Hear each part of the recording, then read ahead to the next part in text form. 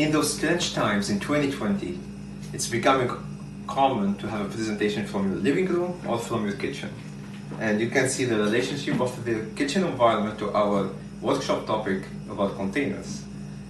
However, we're going to apply those on a different environment, and that is high performance computing. I'm Saber Feki, the scientist team lead at the KAUST Supercomputing Core Lab.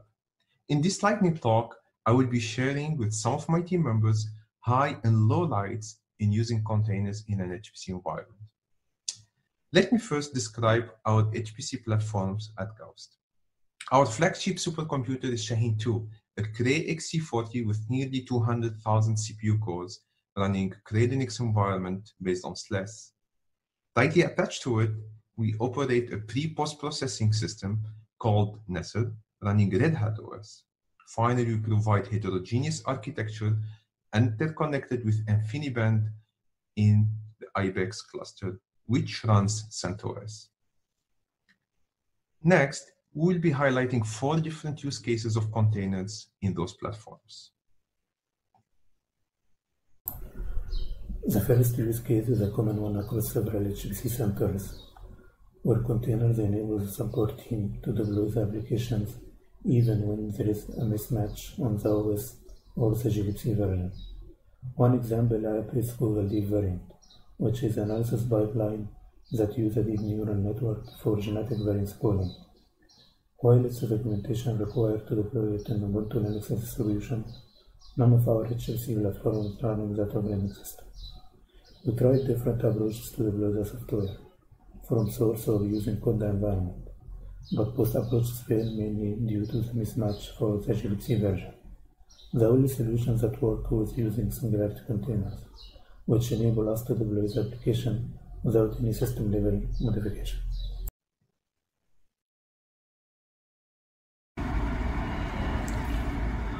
The major challenges in the computational biology applications are portability, reproducibility, reusability, and scalability. Bioconductors are helping us to address these challenges in a flexible way. For example, the bioinformatics tools are containerized and executed seamlessly in a different platforms like local cluster or in the public cloud platform. Therefore, the bioinformatics results can be reproducible in any targeted system during the project collaboration or during any publications. Nowadays, the bioinformatics workflows are built with various pipeline tools. Using any pipeline execution engine, the bioinformatics jobs can be launched to the cluster or it can be extended to the cloud platform or vice versa. Uh, this flexible software environment is useful to process multiple dataset at the same time. Therefore, the bioconductors provide a flexible and scalable environment across any available resources either locally or in the cloud platform.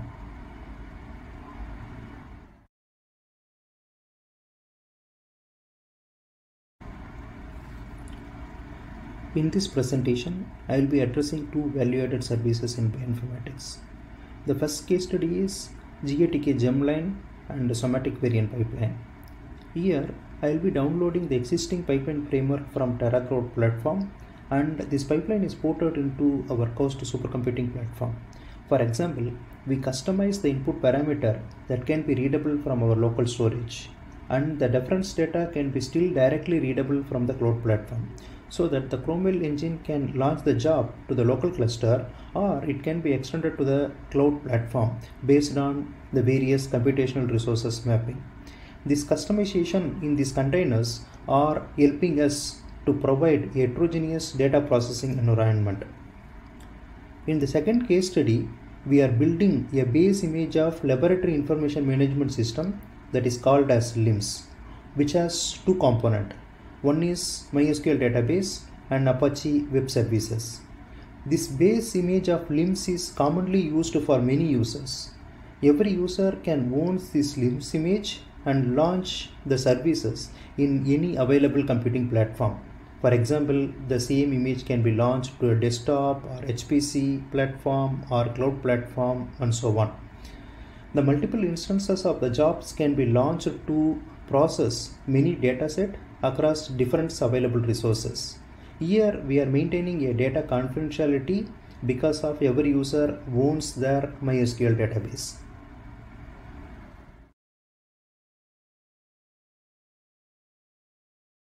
I'm going to talk about OpenFOAM containers on KSL platforms. System installed versions of OpenFOAM are provided as modules and are optimized for performance. This often requires significant time and effort of support staff. It is therefore preferred to limit the number of OpenFOAM versions installed on the system so that they can be maintained. On Shaheen, we maintain three stable versions of OpenFOAM at any time. Additionally, not all versions of OpenFOAM are backward compatible, and some users require older versions for their production work. Also, some users are interested in prototyping on the latest version to see if their use case benefits from the updates of the software. Thus providing OpenFOAM containers of versions not available as system modules is a possibility for rapid deployment with minimum support. Recently, both OpenCFD and CFD Direct organizations maintaining OpenFOAM source have started releasing OpenFOAM as Docker containers hosted in Docker Hub. This is still a work in progress, but when attempting to containerize OpenFOAM 2.4.0 on KSL platforms, we found that MPI in the image needs to be ABI compatible to the host MPI in order for it to work nicely on Cray XC platforms. Some of the assumptions OpenFOAM does to set the user environment needs to be managed. For example, on Shaheen, home file system is not mounted on compute nodes and OpenFOAM user directory defaults to home. Also, sourcing OpenFOAM environment before using it during runtime needs to be managed while building the image. This was not so straightforward and required doing manually. Okay, now we're facing two challenges. The first one is which porting strategy to adopt. And because Docker is so mainstream and well designed, it is an ideal tool to build an image incrementally, test it and use it as our favorite building block. That's why, we chose to stick to it the longest possible.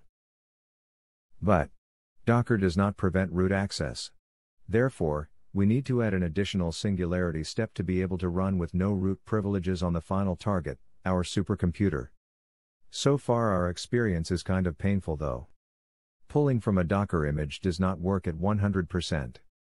Building from scratch a singularity container is time consuming as you need to redo the whole build from scratch when you change or add anything.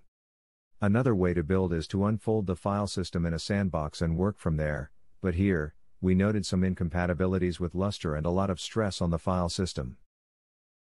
The other challenge is, which technology to choose. There are lots of them available today.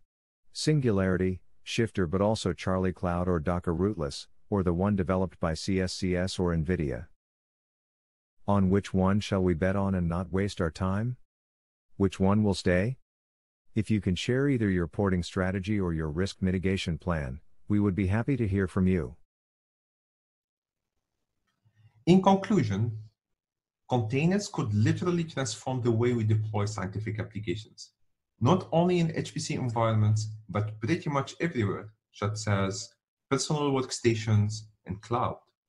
While the use of containers in HPC still requires some work and care, performance portability and scaling are some of the advantages that could offset this effort.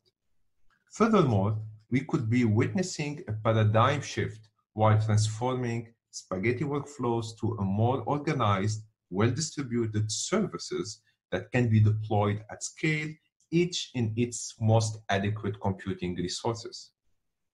There are still open questions HPC centers around the world are exploring and hope can be addressed in the panel, such as which containers technology to choose, or how we could share experiences more effectively and join our forces moving forward.